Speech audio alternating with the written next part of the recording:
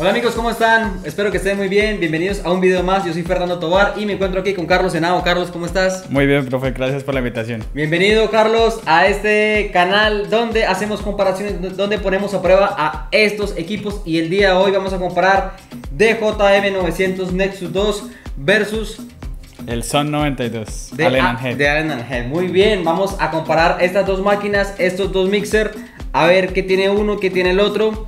Si les gusta mi video, suscríbanse a mi canal de YouTube y los invito a que me sigan en Instagram como arroba Elite Store DJ. Sin más preámbulo, empecemos. Oh, this you crazy mother. Bueno, Carlos, eh, cuéntame. Son 92, ¿hace cuánto tiempo lo tienes? Hace aproximadamente año y medio. ¿Cómo te ha ido con el mixer? Excelente, el sonido es de una excelente calidad. ¿Contento con él? Sí. Bueno, aquí tenemos el DJM 900 Nexus 2, que es un mixer un poco más comercial, digámoslo hablando, es más probable que usted consiga eh, un 900 Nexus a un Allen Hill eh, 92, pero ¿por qué, ¿por qué alguien elegiría este, este mezclador, por ejemplo? Eh, está diseñado como para profesionales que sean más técnicos, que Ok. estén más enfocados como en la calidad de sonido y en la calidad de la mezcla. Eh, realmente eh, no tiene todas las funciones que tiene un DJM, pero la fidelidad que usted va a tener en, los- en el sonido es algo increíble. Digamos lo que usted está pagando eh, por un tema muy puntual y es la calidad de audio, ¿no? Que es lo que usted menciona. Correctamente, sí, así es. También que tiene cuatro bandas de ecualización que no lo traen eh, los, los de JM de Pioneer. Eh, que otras cositas, como un poquito cosas más técnicas que ya la vamos a ver ahorita más adelante en el video. Muy bien, aquí el DJM 900 Nexus, pues, se pues a simple vista podemos ver que es un mezclador un poco más grande. No sé si es porque está en color blanco, pero definitivamente pues está Sí, un poco más ancho y ya tiene cientos de cosas. Ya trae sus efectos. También es un mezclador de cuatro canales. Y bueno, empecemos a hablar de acerca de los detalles que van haciendo mejor a uno y a otro mezclador. Bueno, vamos a empezar a hablar de las características entonces. Lo más útil que tiene un DJ pues es la parte de los canales. Vamos a hablar de qué tiene un canal el uno y qué tiene un canal el otro. Aquí tenemos el recorrido del fader en el 900 Nexus Es un poquito más corto, y el recorrido en el Zone es más más liviano, más... eh, es más largo, no es más extenso el Sí. recorrido y, y- y según el tacto que siento entre uno y otro, pues ¿usted qué dice? Este es más como para tirarlo hacia lo mal. tirarlo. Para tirarlo. Oiga, pero, pero, pero es más suave. Sí, es mucho más suave al tacto el, el fighter del, del Son 92. Hablamos de las curvas del fighter. Aquí tenemos tres: la logarítmica, la lineal y la exponencial. Y si no estoy mal, si no me he olvidado. Allá hay curvas también en el No fighter. tiene curva, No este tiene Fighter curvas. es manual, solo tiene los botones de asignación y ya. Listo, bien. Tenemos la parte del, El de cue. los Q para elegir la preescucha. Puedo elegir uno, tres o dos. Allá también es posible hacerlo, ¿cierto? Estamos Sin igual. embargo, como eh, estamos viendo ahorita, no es posible hacerlo todos al tiempo. Te- para seleccionarlo todos al tiempo tendríamos que se- apagar uno y seleccionarlo oprimirlos todos, todos al mismo tiempo. Ok, perfecto. No como pasa en el Aquí tenemos una lucecita en azul de, de que nos señala dónde estamos aplicando el banco de efectos de los VFX. Pues acá no hay efectos, entonces obviamente pues no lo va a tener. Tenemos la parte del filtro, low pass, high pass. Eh, allá, ¿dónde están los filtros? Entonces tenemos dos filtros. Dos bancos de filtros. Dos bancos de filtros. Ok. Entonces, se puede asignar canal eh, banco filtro, uno. banco 2 y banco 3. Entonces... eh, ¿Dos y tres o uno y dos? Uno y dos. Uno y dos, uno y dos. Eh, hacemos la prueba ya con el... Sí, sí, sí, claro, claro, claro. O sea, podemos aplicarle. No, no podemos aplicarle los dos filtros al mismo tiempo. No. Pero tenemos dos por si queremos aplicar un filtro en un canal y otro filtro en otro canal. Exactamente, entonces no es como ese que viene cada uno independiente. Sí, sí. En este. Entonces acá el low pass. Ay, espere. A ver. Toca cortarlo. Espere. Ahí. Ahí. Ahí está. Entonces uno tiene low pass, band pass y high pass. Claro. Y lo va seleccionando. La curva es de totalmente izquierda a derecha, como otras otros mixers de, de Sí, sí. Pioneer. Y se selecciona acá manualmente. Ah, me gusta, me gusta, me gusta. O sea, puedes elegir entre. Bajémoslo un poquito. Entre las tres: entre high pass, Ujú. Band pass band pass y high pass. y low pass. En pocas palabras, bajo, medio y alto. Eso es lo que puedes elegir ya. Bien, eh, aquí también tenemos, bueno, aquí tenemos solamente un, un botón de, de filtros, high pass, low pass, en el medio pues no aplica nada, pero tú puedes cambiar es- ese, ese filtro por otros Otro cinco efectos que dicen Soundcore Effects, que podría ser un crush, un noise, un space, un deco, un sweep. Entonces, es como, yo digo que, que es Cuestión como- de gustos. Sí, Cuestión esto lo veo como un poco más conservador para un DJ que no le mete tanto efectos a la cosa, sino de pronto le va a agregar algún pedal y ya, un delay, un reverb, un eco, y pues aquí sí está relleno a tope de efectos para que usted juegue con esa. con También esa- podemos hablar entonces de la ecualización de los efectos. Pues en este, en este mixer tenemos lo que son canales de envío. Entonces sería colocar eh, una RMX o colocar una reverbera, un pedal. un procesador de efectos. Y en este lado se va a ecualizar los efectos según uno, según uno quiera. Lo mismo Ok, que la tenemos- entrada, la entrada. La entrada y envío. Ok, puedes ecualizar el, el- el retorno, el regreso Exacto. de aquella señal que envías eh, cruda, por así decirlo, y la que vuelve ya procesada, pues aplicarle ecualización a esa señal procesada. Y acá arriba, tú, en este tú lo manipulas eh, la ecualización y acá lo, lo asignas a cada canal, auxiliar 1 o auxiliar 2. Entonces, dependiendo de qué canal quieres aplicar el efecto. Ok, está todo como más separado. Vamos a hablar de la ecualización por canal. Tenemos en el 900 nexus bajos, medios altos y la ganancia. Aquí, ¿qué tenemos? Carlos, cuéntenos. Tenemos bajos, medios bajos, medios altos y, me- y los altos y la ganancia. Ok, la ganancia que está como level, aquí la llaman como trim. Bueno, en pocas palabras tenemos cuatro bandas para ecualizar en, perdón, en el son, cuatro bandas, ¿cierto? Más como más pulido, se puede... más pulido, exactamente. pulido, y los cortes también. que hace son como más, más limpios. Los Ok. cortes de las frecuencias. Bien, eh, aquí en la parte superior nos alumbra el rojo en clip cuando el DJ satura esa vaina, satura el sonido. Nos pone, nos avisa, aquí no hay un indicador de pronto. Sí, también eh, acá arriba. Ya estaría en la parte del boometer, ¿no? Ajá. Sí, correcto. Bueno, yo sí, yo no, yo no entiendo por qué. Si supone que ya le está diciendo a rojo, ¿para qué meterle otra señal que clip? Y después de clip más arriba le van a colocar, cuidado, atención, no le suba más. Cuidado con el rojo. Ya el DJ que sabe que está picando el rojo ya sabe que está saturado. No sé para qué le meten algo adicional más que alumbrar clip. Pero bueno, ahí está.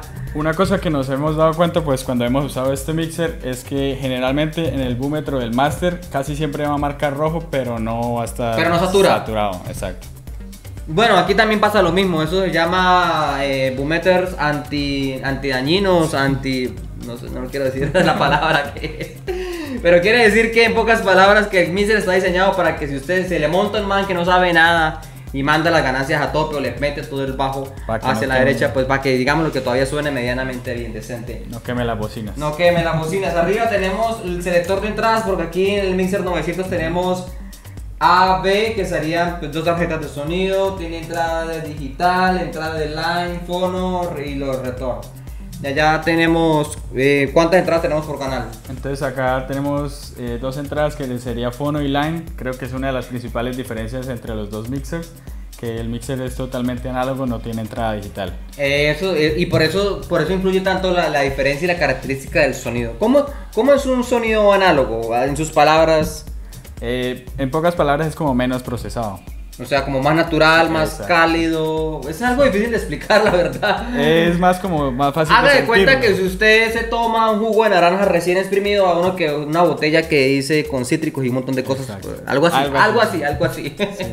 Bien, eh, sí, bueno, eh, pero una de las ventajas de, de que el sonido es digital es que tiene dos tarjetas de sonido y eso nos permite hacer varias cosas interesantes a diferencia del son.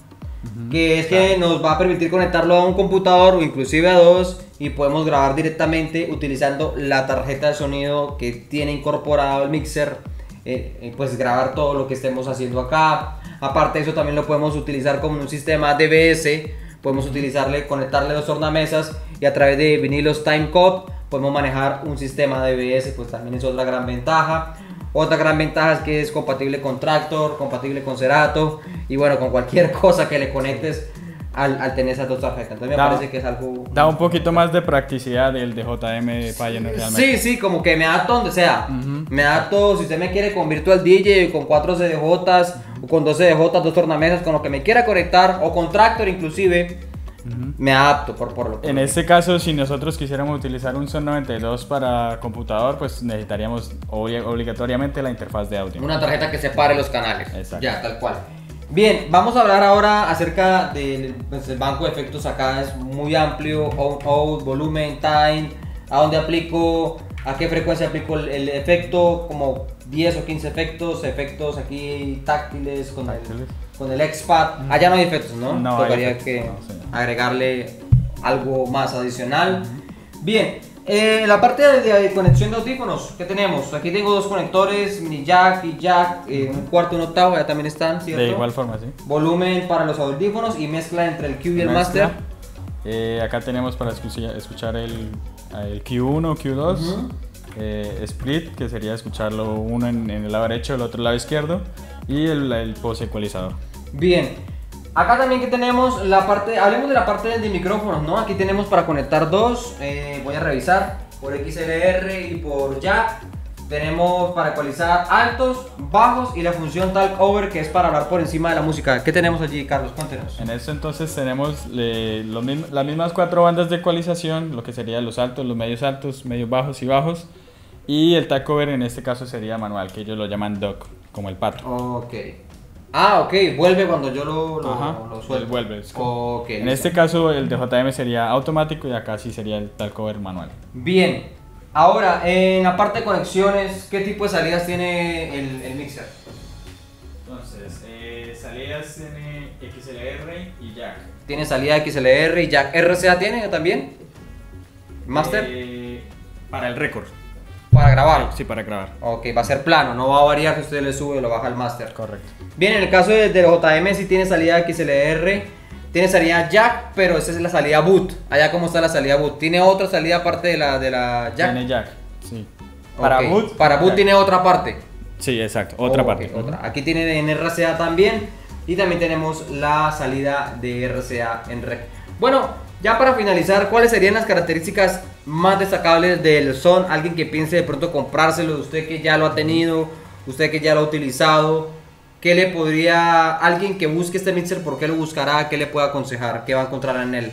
Alguien que esté buscando un tipo de mezcla limpia y simple. Sí, que le guste más eh, la simplicidad o también podría llamarse como minimalismo Ok. a la hora de mezclar, eh, pero que quiere que los cortes entre las frecuencias sean precisos. Precisos, excelente. Una pregunta, ¿usted cree que este mixer está diseñado para DJs de la escena underground? Para techno, para minimal, eh, ¿qué, qué digo yo? Porque yo, yo no he visto un Steve Aoki tocando con uno de estos. Eh, A ver, yo diría la que verdad, sí. Yo sí. diría que sí. Sí, Es sí, más- sí. es más según los gustos. Bien, y pues el 900 Nexus pues definitivamente pues es un mixer que ya pues se adapta a todo tipo, a todo tipo de, de, de DJ diría yo, ¿no? De DJ crossover, DJ electrónico, mainstream, underground, lo que sea.